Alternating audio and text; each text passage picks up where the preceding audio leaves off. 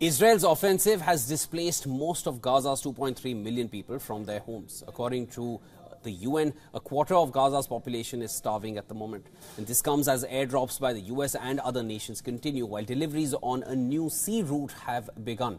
But aid groups say more ground routes and fewer Israeli restrictions on them are needed to meet humanitarian needs in any significant way. A World Central Kitchen staff member posted a video showing the last pallets of aid being unloaded off the first Gaza and Gaza aid supply ship.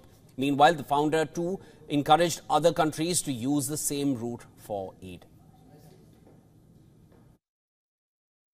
All right, there it is, the last two pallets of food getting loaded onto the last truck. Behind me, off of the barge, is the open arms boat back there. Um,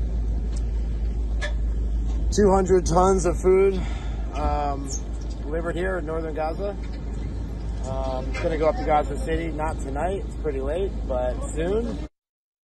The World Health Organization's regional director Hanan Balkhy visited Gaza's aid warehouses in Egypt's Arish and Rafah border crossing. Balkhy checked on medical evacuees from Gaza receiving treatment in Arish Hospital. She also called for a swift ease to the land borders of Gaza for more aid to get inside.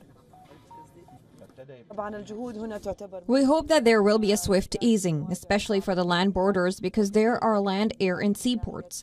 The most beneficial for the residents of the occupied lands to have the land ports facilitated and eased. God willing of all these things happen soon and we hope for quick peace for this problem. Two airplanes were also seen from Israel dropping humanitarian aid packages into northern Gaza. An official Jordanian news agency said that their military conducted six airdrops carrying food into Gaza involving Jordan, Egypt, US and Germany.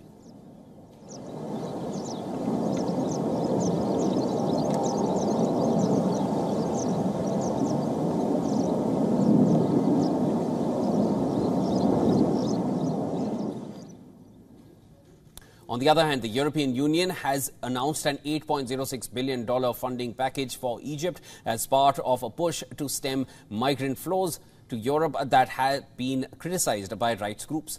Egypt's economic adversity has pushed increasing numbers to migrate in recent years. Even then, Egypt's strategic importance has been underscored by the war in Gaza, where Egypt is trying to mediate between Israel and Hamas and increase deliveries of humanitarian aid.